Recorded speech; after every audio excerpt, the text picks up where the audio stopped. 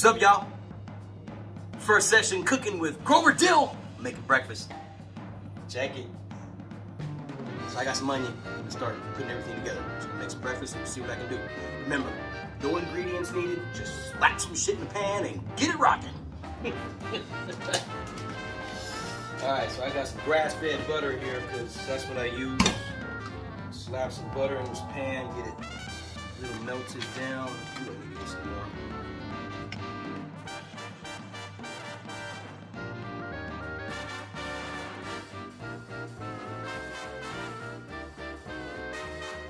So I get my eggs from a local farmer.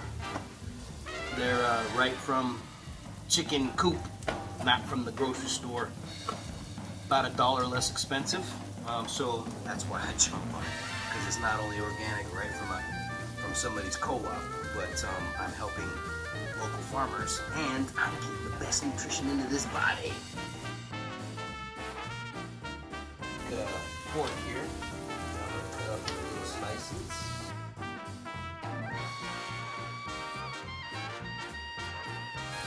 Okay, so I'm going to do a little uh, Himalayan pink salt, uh, some black pepper, private selection.